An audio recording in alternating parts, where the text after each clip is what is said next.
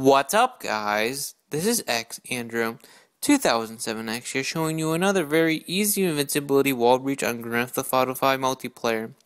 To this glitch, you want to go where I am on the map, which is Sandy Shores. From here, you want to go in front of this uh, store, and then simply climb the cactus, and then climb up again. From here, you should be above the store where you're not normally allowed to be in, and you have done a very simple wall breach, and you can shoot everyone, you can shoot cops, and this is great for bounties or if you're trying to get away from the cops. So it would be very much appreciated if this video got to 200 likes. Alright, see ya, and I hope you guys enjoyed the video and the commentary.